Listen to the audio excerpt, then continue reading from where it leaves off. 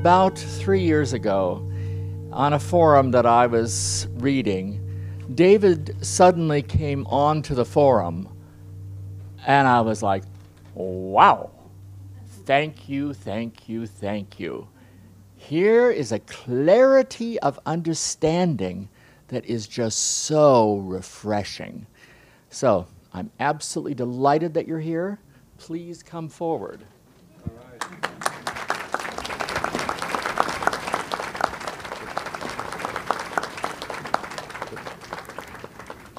Of all the teachings given by the Tibetan master DK to the world through his amanuensis Alice Bailey, he regarded the teaching on Shambhala to be the most important. Yet this teaching forms only a small part of what he gave us. Why did he put this ahead of his much more extensive teachings, including the teachings on the seven rays given in five large volumes? Shambhala, we know, is a very sacred place. But why would DK regard the teaching on Shambhala to be so important? Shambhala is not on the map. It is not described in our geography books. In the great Kalachakra commentary titled Vimala Prabha, the stainless light, we find Shambhala described. From this description, artists in Tibet painted pictures of Shambhala. These paintings, or tankas, follow the description given in the text very closely. The artists are not free to use their imaginations and just draw anything they feel inspired to draw. The text describes Shambhala as a large kingdom having eight divisions. All the Tanka paintings of Shambhala show these eight sections. Since we cannot see the kingdom of Shambhala, we do not know if its eight divisions are to be taken literally as geography or symbolically. We cannot see Shambhala with our physical eyes any more than we can see the chakras or energy centers that are described in Sanskrit books as being located in our subtle bodies. These too, like Shambhala, have been depicted by artists in paintings based on descriptions of them. Paintings of the chakras were published in Arthur Avalon's 1918 book, The Serpent Power, made from the descriptions given in the Shat Chakra Nirupana. The chakras are depicted as lotus flowers with varying numbers of petals. These chakras have become quite familiar to students of the esoteric teachings. If we look at the painting showing a lotus having 12 petals, students will immediately recognize this as a depiction of the heart chakra. It is well known that the heart chakra has 12 petals. The heart chakra is described not only in such Hindu tantric texts as the Shat Chakra Nirupana, but also in C.W. Leadbeater's widely read book, The Chakras, and again in the Alice Bailey writings as having 12 petals. If we look carefully at the picture of the heart chakra from the serpent power, we notice a small chakra at the bottom of the painting. According to the Sanskrit commentary, it is located below the central hub of the heart lotus, and it is necessarily painted there. But two verses quoted in the commentary place it inside the heart lotus. As we see, it has eight petals. Yes, eight, just like the eight divisions of Shambhala we saw. The paintings accurately follow the texts, and the connection they allow us to make is clear. The connection between Shambhala and the eight petaled lotus within the heart chakra. In fact, the heart chakra is described in the Buddhist tantric texts as having eight petals, not 12 petals. Not only Buddhist tantric texts, but also Jaina texts and some other Hindu texts describe the heart chakra as having eight petals. So the implication is also clear. Shambhala with its eight divisions, is intended to represent the heart chakra. Shambhala is a sacred place because, in some sense, it represents the heart of our planet. In an ancient commentary on the secret book of Dzyan, quoted by H.P. Blavatsky in The Secret Doctrine, planet Earth is likened to a living body. The commentary speaks of the water of life that flows around and animates Mother Earth's body, saying, quote, It gets purified on its return to her heart, which beats under the foot of the sacred Shambhala. This beautiful quotation, with its metaphoric language, is worth quoting more fully. In the first beginnings of human life, the only dry land was on the right end, the North Pole, of the sphere, where it, the globe, is motionless. The whole earth was one vast watery desert, and the waters were tepid. There, man was born on the seven zones of the immortal, the indestructible of the Manvantara. There was eternal spring in darkness. But that which is darkness for the man of today was light to the man of his dawn. There, the gods rested, and Fohat reigns ever since. Thus, the wise fathers say that man is born in the head of his mother, earth, and that her feet at the left end generated or begot the evil winds that blow from the mouth of the lower dragon. Between the first and second races, the eternal central land was divided by the waters of life. HPB adds a note here. This water is the blood or fluid of life which animates the earth, compared here to a living body. The quote continues It flows around and animates her, Mother Earth's body. Its one end issues from her head. It becomes foul at her feet, the southern pole. It gets purified on its return to her heart which beats under the foot of the sacred Shambhala, which then, in the beginnings, was not yet born. The Tibetan master DK, in some of the new information on Shambhala that he gave out, tells us of the coming of the hierarchy and the founding of Shambhala about 18 and a half million years ago the movement for the spreading of the secret doctrine, he says, is that old. He speaks briefly of the hierarchy's first organization of the teachings of the mysteries on the physical plane, and, quote, the first outpost of the Shambhala fraternity. He goes on to point out some of the changes that these teachings have gone through over the ages in response to the changing needs of developing humanity. He describes the gradual development of the teachings and their culmination in the mystery schools of antiquity. Quote, Gradually, the teaching was reorganized and the curriculum increased. Little by little, the mysteries were developed as the people became ready for them until we have the marvelous schools of the mysteries of Chaldea, Egypt, Greece, and many others. All these teachings and all these mystery schools, DK tells us, were inspired by and originated from Shambhala. But what is the teaching of Shambhala itself? How is the teaching that would lie behind the teachings of all these mystery schools formulated there?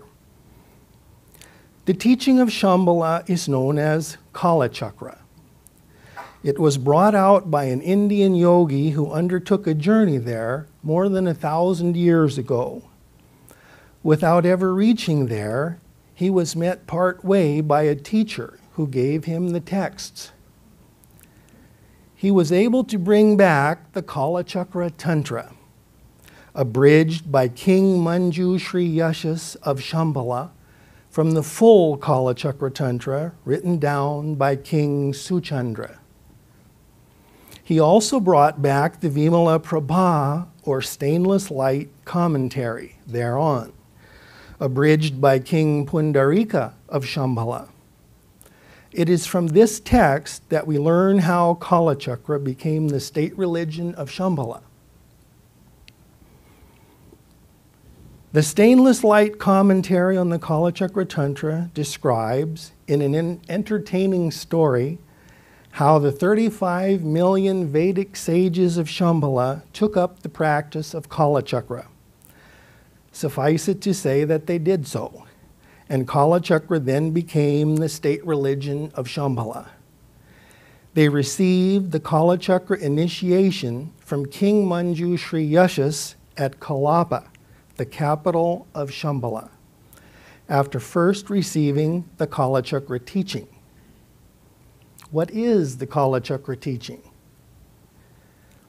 Most central to it is the correspondence between the macrocosm and the microcosm, and the correspondence between these and an ideal archetype.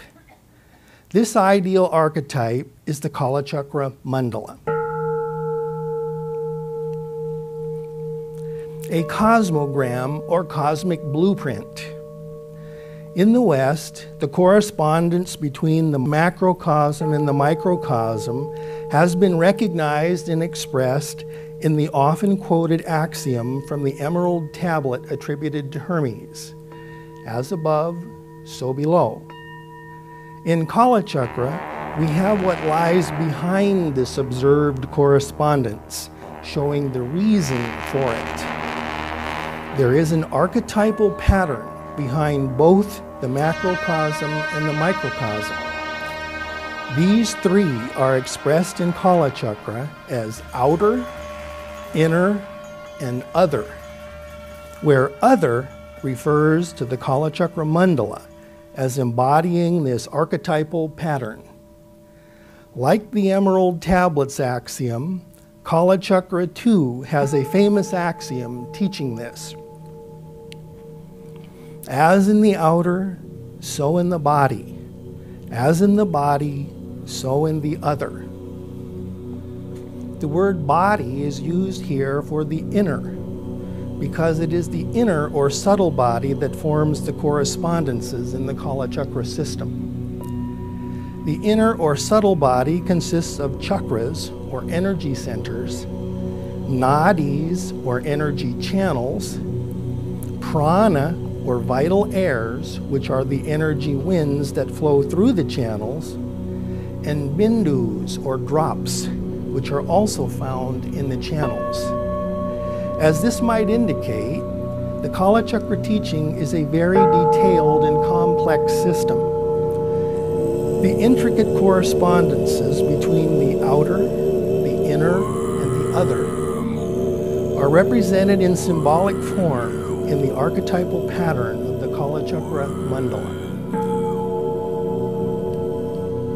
The Kala Chakra meditation practice, or sadhana, consists of visualization of the Kala Chakra mandala in all its detail. When the correspondences are correctly known and the visualization is correctly done, the result is the purification of the outer and inner worlds. This is made possible through alignment with the archetypal pattern of the Kala Chakra mandala. The outer, the cosmos, and the inner, the subtle bodies of human beings, together form what is called the basis to be purified. The Kala Chakra meditation practice or visualization of the other, the Kala Chakra mandala, is called that which purifies.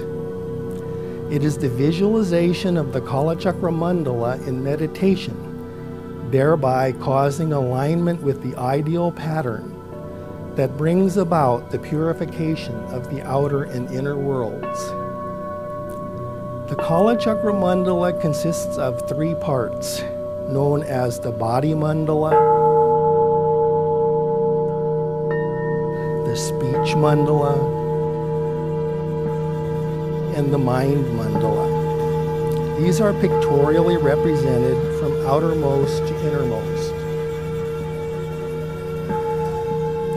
It is through full knowledge of this threefold mandala and its correspondences that a person can bring about an alignment between the ideal archetype and the outer and inner worlds.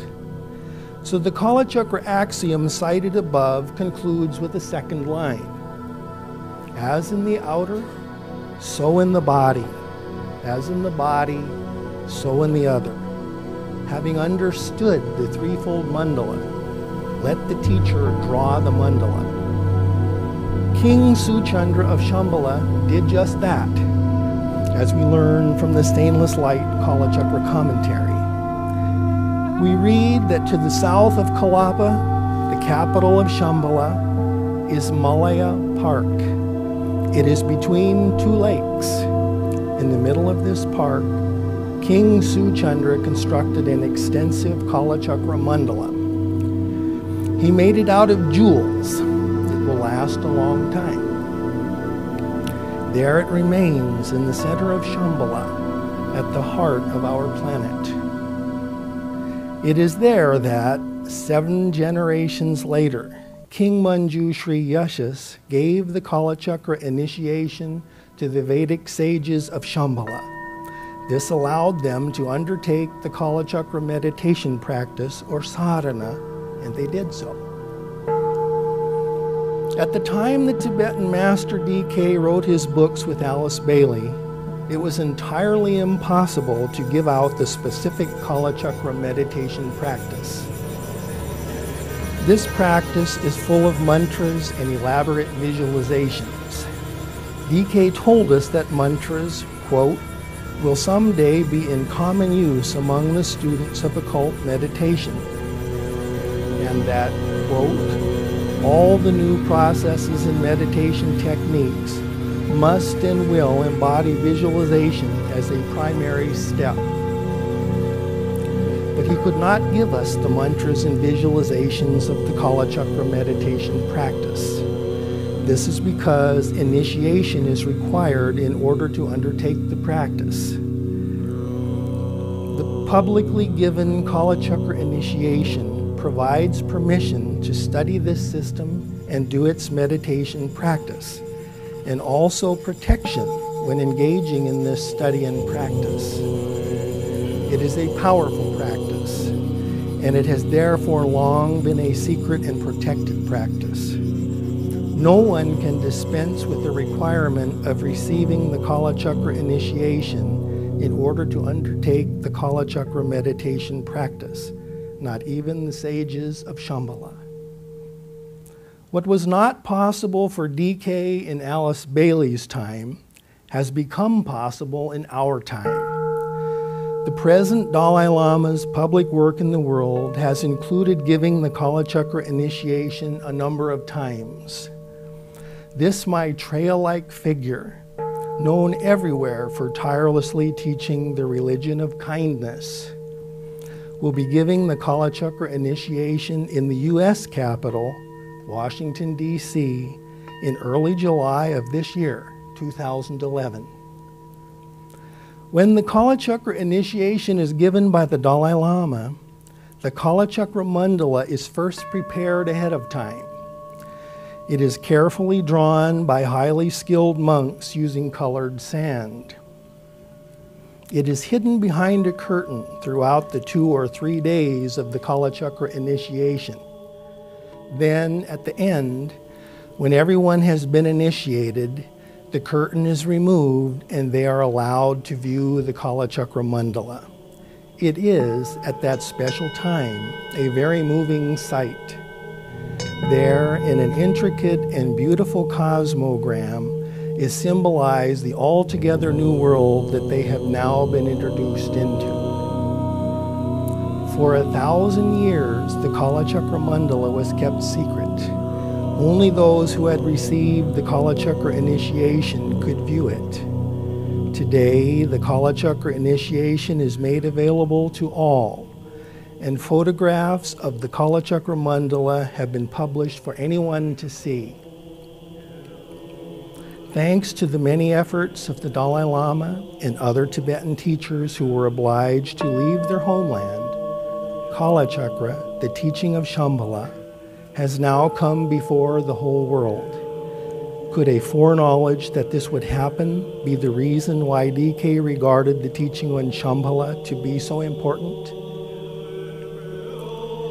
Evidence that the Tibetan master DK would have been a Kalachakra master in Tibet was provided in an article published in 1991 in The Beacon.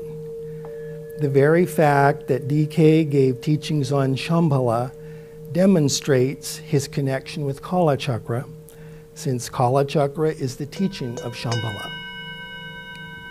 When he listed the teaching on Shambhala as the most important of the teachings he gave to the world, he noted that, quote, little has ever been given on this subject, only the name was known, end of. The teaching that he gave on Shambhala describes his sacred place as the center of will and purpose on our planet. He speaks of purpose or will as the plan, and of the plan as the blueprint. It is the archetypal pattern for the way things are intended to be in the life of our planet. He refers to the custodians of will or purpose at Shambhala. In short, Shambhala is the custodian of the plan. We all want to see the earth conform more closely with this ideal blueprint that we call the plan. We want our planet to be in harmony with the cosmic archetype. We all want to see the plan restored on Earth. We mean it when we say the last line of the great invocation that DK gave us Let light and love and power restore the plan on Earth. Although we cannot know the plan, it is known at Shambhala since Shambhala is the custodian of the plan. No student of the Alice Bailey writings can miss the connection between the plan and the Kalachakra Mandala built by King Suchandra at the capital of Shambhala. The connection of these teachings is why they would want to attend the Kalachakra initiation. The great majority of the people who attend the publicly given Kalachakra initiation do so for the blessing it gives them. The powerful energies that are brought in by this initiation can be felt by everyone. They do feel blessed. Tibetans who attend believe that by doing so, they will establish a karmic link with Shambhala so that they may be reborn there in the future. A small minority of the people who attend will afterwards take up the Kalachakra meditation practice or sadhana, which this initiation gives them the permission to do. For these few, this is just the beginning. They must learn to visualize the Kalachakra mandala in all its intricate detail. This is not an easy practice. Moreover, its almost impenetrable symbolism turns away even some of these few in despair of ever understanding it. Those who do the practice usually do it on faith, the faith that it will lead them to enlightenment and is truly important. Like them, we too have good reason to believe that it is truly important. We know thanks to the new teaching on Shambhala given by the Tibetan master DK, that Shambhala is the custodian of the plan, the blueprint for our planet. We know, thanks to the stainless light commentary on the Kalachakra Tantra, that in the center of Shambhala there is a permanent three dimensional Kalachakra mandala, a cosmic blueprint. We are able, thanks to the Kalachakra initiation given by the present Dalai Lama and others, to undertake the Kalachakra meditation practice or sadhana in which the Kalachakra mandala is utilized.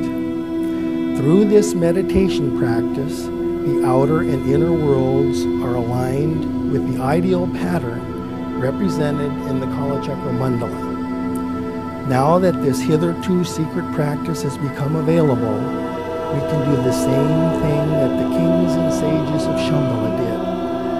We have a truly powerful tool to restore the plan on earth.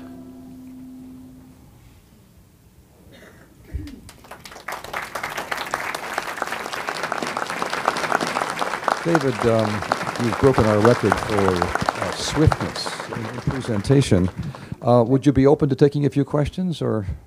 Uh, yes, um, you in an article uh, drew a connection uh, between DK and his previous incarnation, in which he was involved with Shambhala and the Kalachakra in what Lamic role he fulfilled.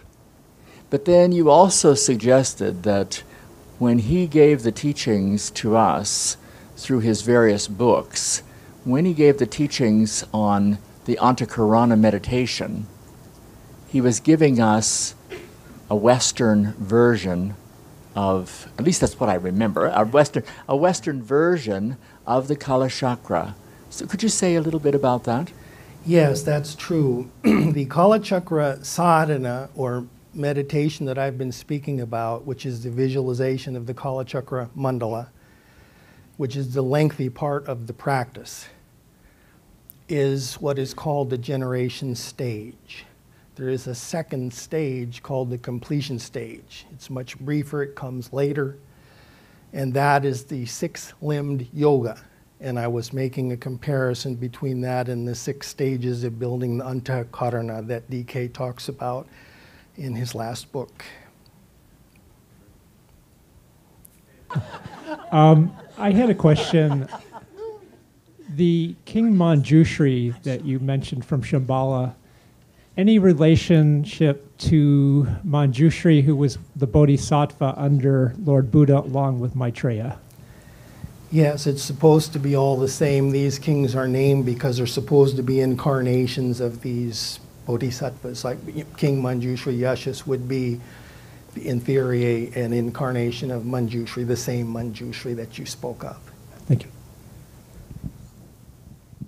Sorry, Tom.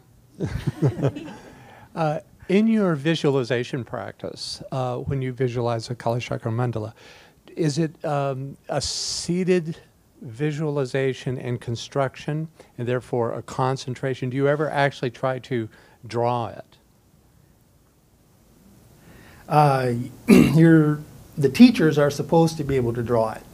And the monks of the Namgyal monastery of the Dalai Lama come with him on the, when he goes to give the initiation, they draw it. But yes, there's a whole science to drawing it. It's in the third chapter of the Kalachakra Tantra.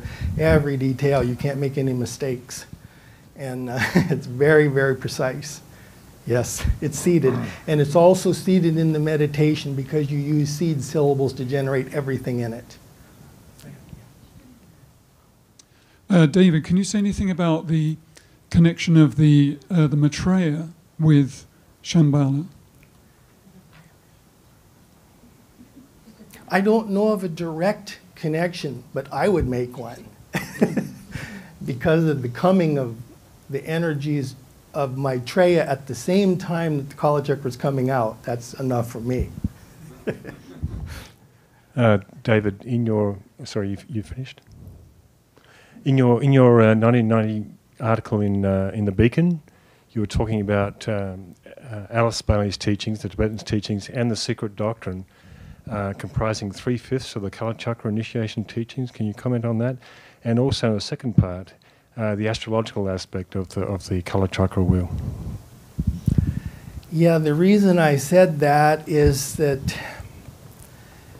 the subject matter is between DK's treatise on the seven rays in five volumes and the five chapters of the Kalachakra Tantra overlap by three. Can't quite do that, but so that the first two volumes of a treatise on the seven rays, which deal with esoteric psychology, would be giving the introduction to tantric theory in general, the rays, the Dhyani Buddha families. Then the third volume of a treatise on the seven rays is Esoteric Astrology. And the first chapter of the Kalachakra Tantra is the Loka Dhatu Patala, the one on the world. And it includes an extensive astronomy section. I hate to call it astrology because most of it has to do with astronomical calculations. Nonetheless, it's not pure astronomy either because it's describing an inner zodiac that happens inside your body too, not only the outer one. So there's that connection. Then the fourth volume of DK's treatise on the seven rays, of course, is esoteric healing. The second chapter of the Kalachakra Tantra is on the, the adhyatma, the inner, that, that deals with the subtle body that I mentioned. And from this information, and uh, a system of medicine has arisen in Tibet. Likewise, from the information in the astronomy portion of the first chapter, a system of astrology in Tibet has arisen. Then the fifth volume of DK's treatise on the seven rays, the rays and the initiations, the third chapter of the Kalachakra Tantra is actually titled Initiation. Now, again, there's not any direct or clear overlap between the initiation spoken of there, which is the initiation that anybody who will attend in July will be receiving, and DK's initiations. They're not, you can make whatever correspondences you want, but it's not a clear one on one by any means. So the other two fifths of the teaching would, would be embodied in meditation, rituals, and mantras. That's right. The fourth chapter is the sadhana, which DK couldn't give. That's the actual meditation instructions. And then the fifth is the really esoteric stuff that I think nobody understands on earth practically, perhaps maybe DK. So on jnana, uh, wisdom, highest wisdom, and it gives all these mantric correspondences with everything that, uh, I mean, there's a tiny percentage of Tibetans that do it, and of that tiny perception, maybe one understands that chapter. It's tough.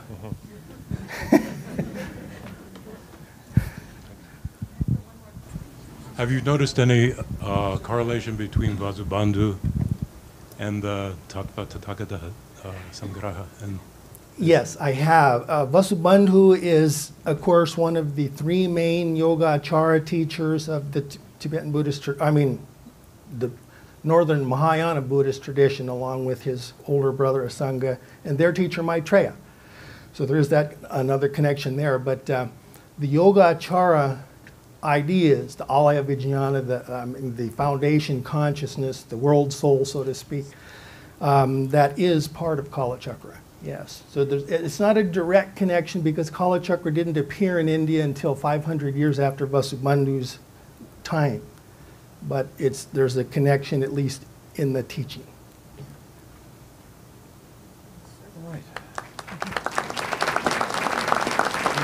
Thank you very much.